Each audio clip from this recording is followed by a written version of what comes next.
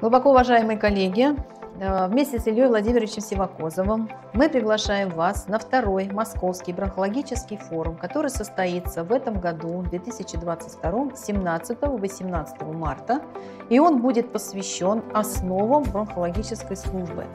Мы постараемся коротко в два дня уложиться в законах, юридических аспектах, оснащении и основных диагностических, чуть-чуть затронем необходимые минимальные лечебные мероприятия, которые мы выполняем во время бронхоскопии.